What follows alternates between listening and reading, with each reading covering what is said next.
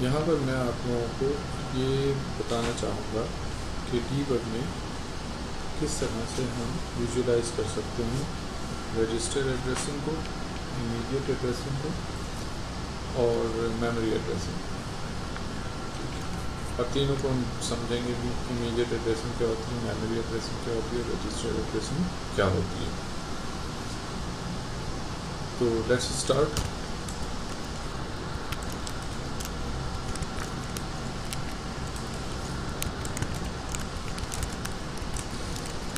ये तो हमें पता है, ये आर लिखने से हम रजिस्टर्स को देख सकते हैं। तमाम रजिस्टर्स आपके सामने आ गए। अब लेट सपोज़ मैं एक कोड असम्बल कर रहा हूँ हंड्रेड लोकेशन पे ऑफसेट पे। Move A X comma one two three four move B X comma five six seven eight और इन वैल्यूज़ को ये ए में कांस्टेंट वैल्यू मूव की बी एक्स में कांस्टेंट वैल्यू मूव की और सी एक्स में मैं वो वैल्यू रख देता हूँ ए एक्स की और डी एक्स में मैं रख देता हूँ वैल्यू डी एक्स की। तो ये मेरा कोड हो गया। अब मैंने कांस्टेंट वैल्यू मूव की ए एक्स में कांस्टेंट वैल्यू मूव की बी एक्स में। ए एक्स की वैल्यू मैंने रजिस्टर में सेव कर ली बी एक्स की वैल्यू मैंने रजिस्टर में सेव कर ली। अब मैं इनको देखना चाहता हूँ अनअसम्बल करता हूँ, इनकी कोड देखना चाहता हूँ मैं कोड किस तरह से मशीन कोड क्या जनरेट होता है ज़ीरो वन ज़ीरो ज़ीरो से लेके ज़ीरो वन ज़ीरो एट तक अनअसम्बल का ये मेरा कोड है, जो अनअसम्बल हो गया है। आप गौर कर सकते हैं कि move A X comma one two three four इसमें बी एट बेसिकली एक ऑप कोड है। और उसके बाद जो है ये लिखिए कांस्टेंट वैल्यू जो कि मैं मूव कराना चाहूँ। तो basically immediately after the op code वो डेटा है जो मूव होना है ए एक्स इस वजह से इस एड्रेसिंग मोड का नाम इमीजिएट एड्रेसिंग मोड है। कोई भी कांस्टेंट वैल्यू किसी भी रजिस्टर में मूव कराएँ तो उसको हम इमीजिएट एड्रेसिंग मोड कहते हैं। क्यों कहते हैं? इसलिए कि फ़ौर बाद मशीन इंस्ट्रक्शन के अंदर ही वो डेटा मौजूद है जिसको मूव होना है पर्टिकुलर रजिस्टर अच्छा बी बी का मतलब है कांस्टेंट वैल्यू जो भी दी हुई है, वो मूव होगी बी एक्स रजिस्टर में। अच्छा ये ऑप कोड है, ये ऑप कोड है जनाब C X comma A X यानी ए एक्स की वैल्यू मैंने सी एक्स में मूव कर दी बी एक्स की वैल्यू मैंने डी एक्स में मूव कर दी। अब इसको मैं रन करके देख लेता हूँ। G equals to zero zero one zero one zero zero two zero one zero A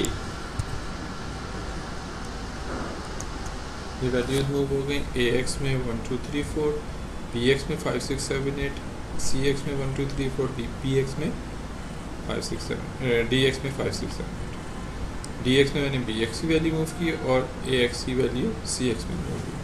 लेकिन अब मेरे पास ये चीज़ है कि ये चार रजिस्टर मेरे जो जर्नल पर्पज़ रजिस्टर से वो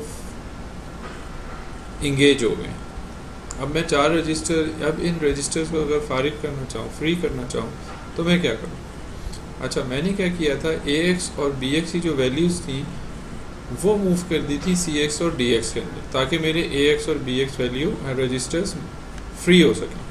लेकिन हुआ ये कि दो रजिस्टर को फ्री करने के लिए मुझे दो रजिस्टर को इंगेज करना पड़ा। तो अब मेरे पास क्या तरीक़ाकार है इसको किस तरह से देखें, इसको इस तरह से देखते हैं कि मेरे पास डेटा सेगमेंट की पूरी रेंज है। 64 किलोबाइट का एक डेटा सेगमेंट एक मेमोरी रखी है। तो उस मेमोरी लोकेशन में मैं मूव करना चाहूँगा अपने रजिस्टर की वैल्यू बजाय ये कि मैं रजिस्टर में मूव करूँ। ज़ाहिर सी बात है मेरे पास चार रजिस्टर्स हैं तो ये जो चार रजिस्टर हैं, ये सीपीयू के अंदर हैं। ये सीपीयू के अंदर जो रजिस्टर्स हैं, इनको तो हमने देख लिया, इनकी एड्रेसिंग क्या है? इमीडिएट एड्रेसिंग इंस्ट्रक्शन के भी अंदर मैंने वैल्यू सेव की हुई है, और सीपीयू के रजिस्टर्स को यूज़ किया हुआ है। लेकिन अगर मैं ये डेटा मेन मेमोरी में ट्रांसफ़र करना चाहूँ, यही डेटा मैं मेन मेमोरी में ट्रांसफ़र करना चाहूँ तो मैं क्या करूँ? मैं यही डेटा मेन मेमोरी में ट्रांसफ़र करने के लिए मैं क्या करूँगा? मेन मेमोरी मेरी D X D S data segment register तो उसकी जो लोकेशन है लेट सपोज़ मैं ये कोड लिख रहा हूँ। वन ज़ीरो ए पे मुझे लिखना है। मूव ए एक्स की वैल्यू मैं मूव कराना चाहता हूँ। Memory location zero two zero zero में ए एक्स की वैल्यू और ज़ीरो टू ज़ीरो टू में, क्योंकि ए एक्स है ना, ए एक्स दो बाइट्स हैं, टू ज़ीरो ज़ीरो और टू ज़ीरो वन पे दोनों बाइट्स आ गई। अब अगर जो खाली जगह है वो कौन सी है? स्पेस मेरे पास कौन सी है? अब ज़ीरो टू ज़ीरो टू। तो वहाँ पे मैं बी एक्स वैल्यू मूव कर दूँ। तो इससे फ़ायदा ये होगा कि ये मेरी मेमोरी में स्टोर हो गई। Outside the outside the C P U और रजिस्टर भी मेरे फ्री हो जाएँगे। इसको हम देखते हैं ये कहाँ हुई है। अनसम्बल करते हैं अपना डेटा अपनी इंस्ट्रक्शंस को। ज़ीरो वन ज़ीरो ज़ीरो से लेके मेरी इंस्ट्रक्शंस थी ज़ीरो वन ज़ीरो डी तक। ये सारी इंस्ट्रक्शंस मेरे पास आ गई। अब इनको मैं एग्जीक्यूट करता हूँ। एग्जीक्यूट करने से पहले मैं क्या करता हूँ? मैं ये देखता हूँ, देखना चाहता हूँ कि ज़ीरो टू ज़ीरो ज़ीरो पे क्या लिखा है। इस ऑफसेट पे क्या लिखा है।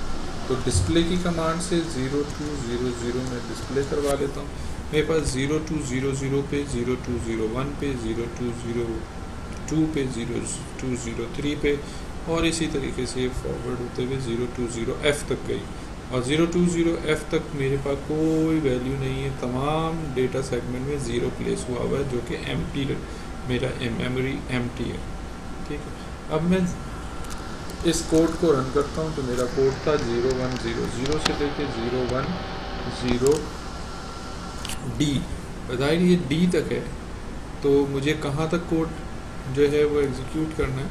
तो D, E,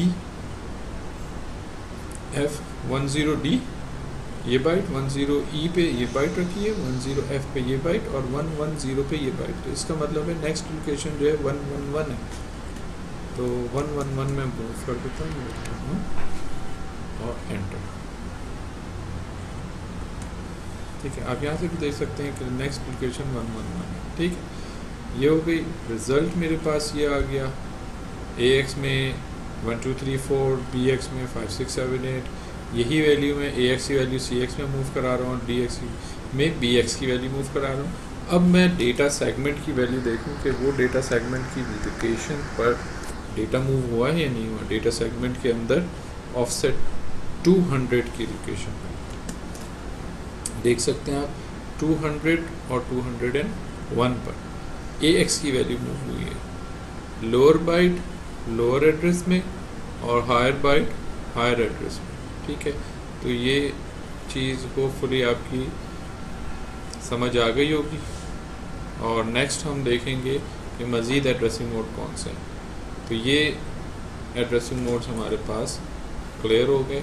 अगला टॉपिक हमारा होगा, इन्हीं, ये अभी हमने जो एड्रेसिंग मोड्स देखे हैं, इन्हीं को फर्दर हम आगे चेक करेंगे कि कौन कौन सा एड्रेसिंग मोड एक दफ़ा मैं दोबारा आपको दिखा दूँ कि ज़ीरो वन ज़ीरो डी तक के एड्रेसिस थे। ये इमीडिएट एड्रेसिंग है, ये रजिस्टर एड्रेसिंग है, और ये डायरेक्ट एड्रेसिंग है। तो तीन एड्रेसेस देखी हैं हमने, तीन एड्रेस मोड देख लिए। और ये जो ऊपर चार इंस्ट्रक्शंस हैं, ये दोनों इनसाइड द सीपीयू है और ये आउटसाइड द सीपीयू है। अब इसकी